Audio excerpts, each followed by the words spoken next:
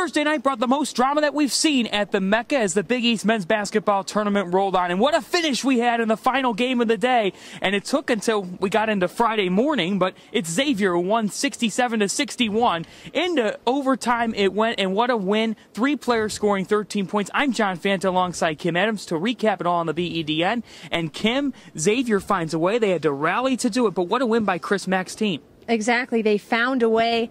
Butler was really in control for this entire game leading up to overtime. I think Xavier had only led for about a minute and a half before they sent it into overtime. So really it just came down to some big plays in overtime. We saw Dee Davis and Jalen Reynolds get some early three point plays. Right into overtime, they just had the momentum, they had the energy, and they got some big stops defensively. And like you said, five players in double figures. Dee Davis, Myles Davis, and Matt Stainbrook, all with 13.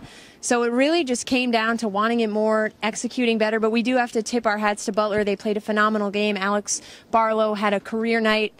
What a run it was for them, and hopefully we'll see them in the tournament as well. And to go more into that, this is your senior year. So how special is this win for you tonight?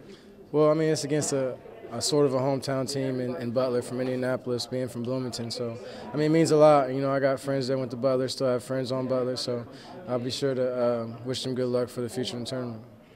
And I think Butler led for probably 80% of that game. How were you guys able to just keep fighting and get the game back tied to send it into overtime? Um, the best part was that we had we do this thing called four minute wars. So like each four minutes we figure out uh, what what's going on, like how many points were scored by them, how many points were scored by us, and we just knew that each war we just had to keep going and going and and just keep chipping at the lead, and then eventually you know our, our depth just pulled away and we got we got the win.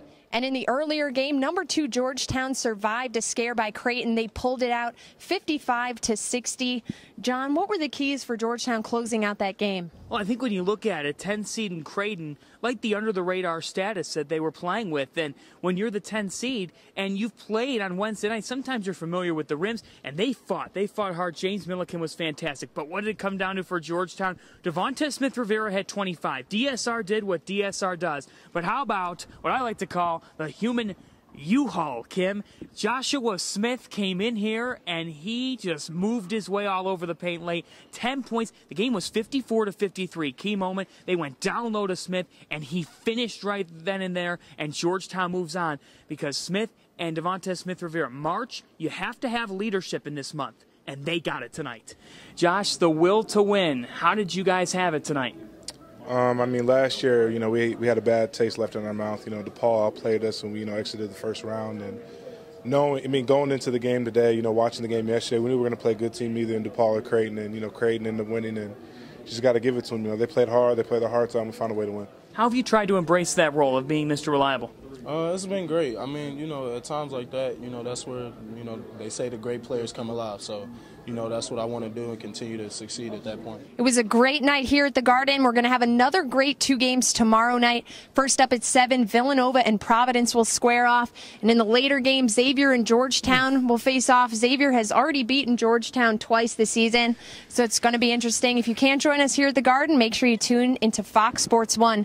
For John Fanta, I'm Kim Adams reporting for the Big East Digital Network.